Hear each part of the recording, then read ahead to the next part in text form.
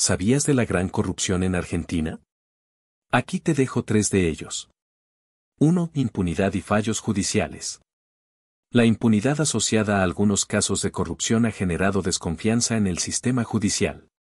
La demora en los fallos y la percepción de que algunos funcionarios corruptos no enfrentan consecuencias adecuadas contribuyen a la persistencia del problema. 2. Políticas de transparencia y rendición de cuentas. La implementación efectiva de políticas de transparencia y rendición de cuentas enfrenta obstáculos.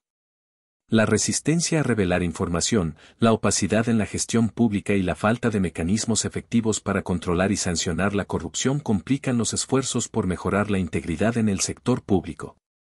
3. Cultura de la corrupción y prácticas arraigadas. La corrupción ha arraigado en ciertas prácticas culturales y políticas.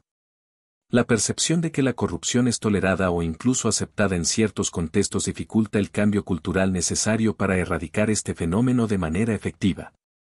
Para más contenido suscríbete a nuestro canal y déjanos tus comentarios.